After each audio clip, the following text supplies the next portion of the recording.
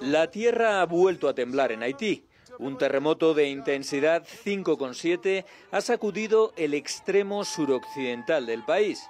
La falta de sistemas de alerta y las precarias construcciones han tenido efectos mortales en la localidad de Jeremí. Se habla de cuatro muertos, pero se teme que pueda haber más gente bajo los edificios derrumbados. Este nuevo desastre se suma al provocado por las inundaciones y los corrimientos de tierra en los últimos días. El saldo es de 51 muertos, 140 heridos, 18 desaparecidos y más de 32.000 casas inundadas, como señala este portavoz de la ONU. Aseguran tener 350.000 raciones de comida listas, pero admiten que es difícil distribuirlas por la inseguridad y las carreteras dañadas por las lluvias. Los haitianos viven a merced de un clima cada vez más hostil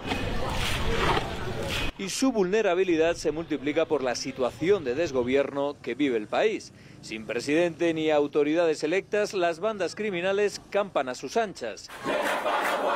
El gobierno interino no puede o no quiere hacerlas frente mientras el país se sume cada día un poco más en la violencia y en la miseria.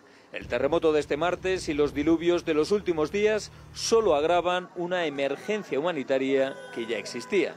Hace ya meses que la ONU lanzó un grito de socorro advirtiendo de que casi la mitad de la población haitiana requería de ayuda alimentaria. Pidió entonces apoyo a la comunidad internacional, pero de momento solo han llegado el 20% de los fondos necesarios para atender esta emergencia.